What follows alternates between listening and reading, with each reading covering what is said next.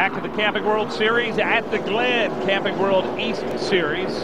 Mike Hogwood, Phil Parsons, Eric Perniciglio down on pit road. Antonio Perez has been our leader here in the early going, the pole sitter.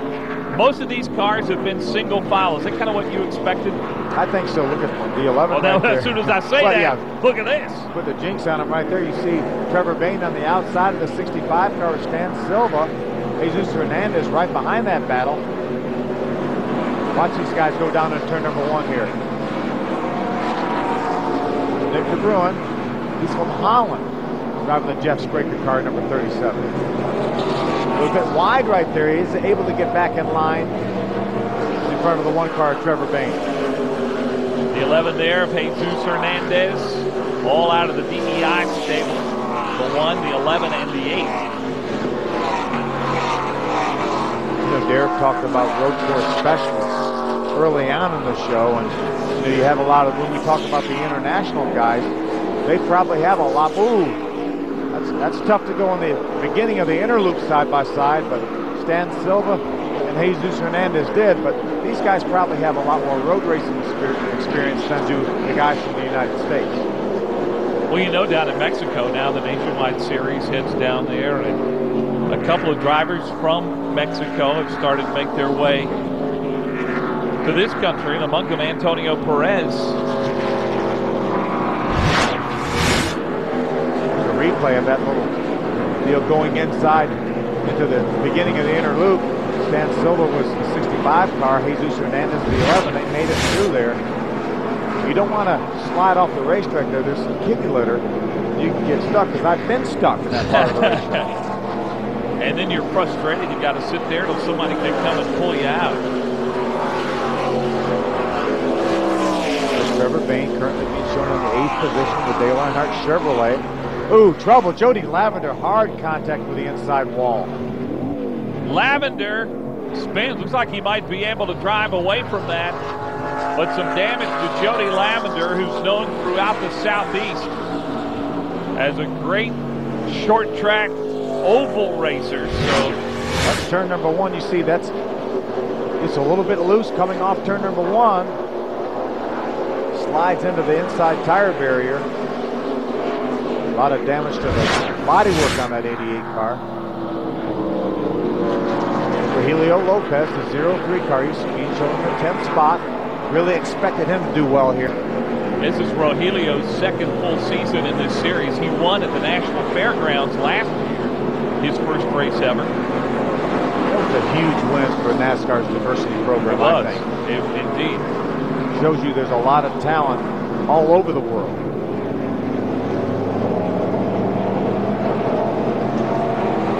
Mark Davis, the 18 car, following the 44 Peyton Sellers. Again, most of the leaders now in single file. There's Craig Goess, we had told you a moment ago, had some trouble. Mark Davis trying to pass Peyton Sellers. Got a run coming off the top of the S's there. Let's see what he can do as they enter the inner loop. I think he's going to get him. Ooh, Peyton's going to oh fight my. back. Ooh, not, not going to quite make it now. Mark Davis is going to have the preferred line on the inside of the outer loop down here. Peyton Sellers lives very near a track where a lot of these guys go and test road racing. The Virginia International Raceway, VIR it's called. It's only actually a couple of miles from Peyton Sellers' shops. And that's where Austin Dillon stopped on the way here with his car that he's racing here today. Did the Bondurant School earlier this year out in Arizona. It is a different feel to the race car, some different techniques. There your top two, Perez and Kobyluck. Matt Kobyluck's not giving any ground up there, is he? Correct. Right not been able to get away from him whatsoever. Matt gets a lot of good runs. Not quite able to. He's not quite able to outbrake Perez. Perez is really hard on the brakes. Brakes real late. Matt's been trying to sneak to the inside there to take a peek to see if maybe he could do it, but hasn't been able to yet. See those wheels sometimes getting off the ground, coming off of that inner loop. Silva, 65. Jesus Hernandez, the 11. Jeff Anton gets turned around over in turn number one.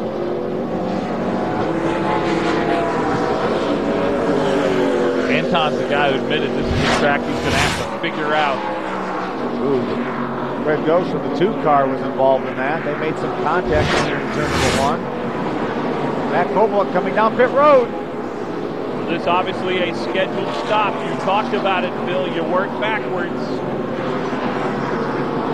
Matt trying to beat maybe the first car on pit road. Now, once he gets back on the racetrack, he hopes the caution flag comes out because then he will have the track position over everybody that comes down pit road on the caution flag.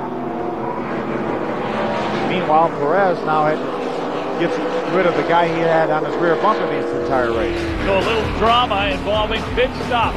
Perez leads, but watch out for Kobyluck.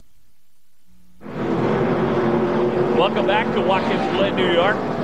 Watkins Glen International. We're seeing a number of pit stops. There's Rogelio Lopez. Interesting strategy here, Phil. It seems like that pit stop that Matt Kobyluck made just opened the floodgates, and everyone said, well, if he's going to do that, I think we need to as well. You can make the race on one stop, but the question was, when would you make it? I think Matt Kobyluck, once he got in this window where he knew that he could make it the rest of the way, I think that's when he wanted to come down pit road. And again, just about the rest of the field has followed him down pit road. The only other factor that we could have is, particularly if you see the sky here, it is getting rather ominous rain would somehow come into the picture here. This is a 55 lap race, so all they would have to run would be 28 laps to be to be an official completed race. So, you know, do you do you want to maybe gamble on rain? Do you want to stay out? Think maybe it's going to rain. Well, Jeffrey Earnhardt's not. He's in to the attention of his DEI crew. Ricky Carmichael, the four car, Carmichael, the four car on pit road as well. And again, you're, if you're wondering why they're not changing tires, well, you're not allowed to. They build a really good tire here, Goodyear does, and this is a sport where you want to try to make it as equal as possible to as many teams as you can.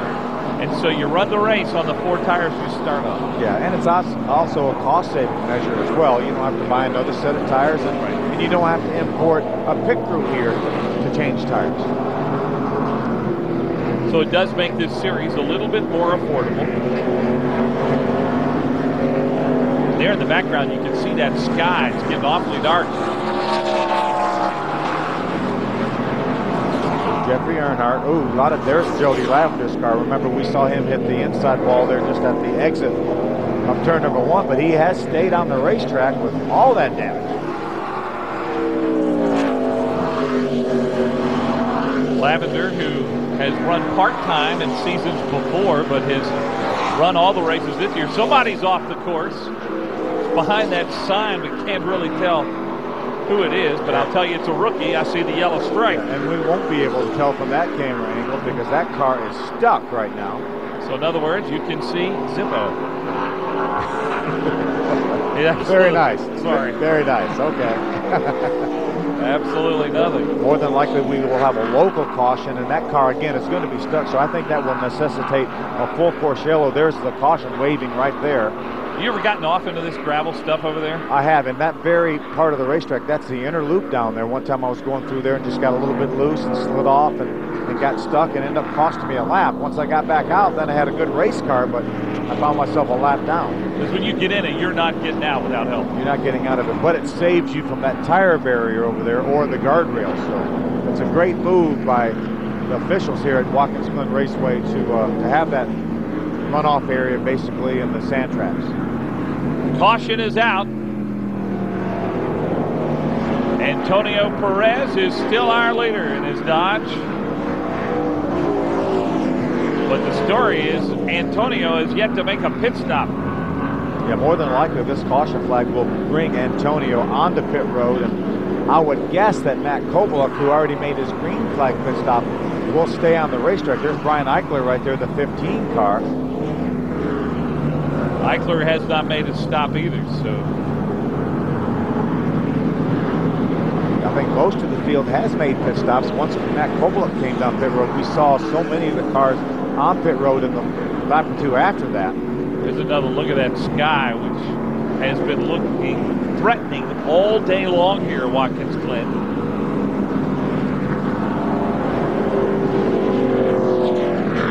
weird look right there. I'll say. Well, let's just hope that the rain somehow stays away from the Camping World East Series at the Glen.